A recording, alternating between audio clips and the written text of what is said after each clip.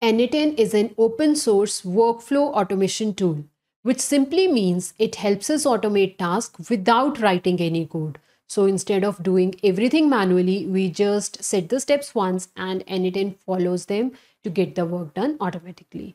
So we just drag and drop small blocks which are called nodes onto the canvas and then we connect them together. Each node performs one specific task. So for example, one node waits for a new email and then another node is there which is used to summarize that email using AI.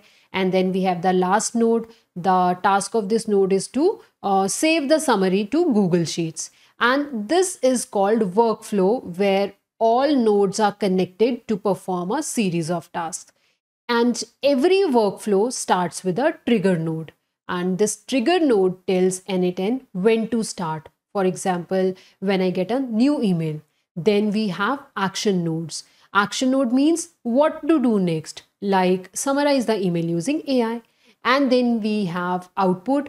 It tells where to send the results, like saving them to Google Sheets. So basically, n8n lets us build our own automation visually with no code at all.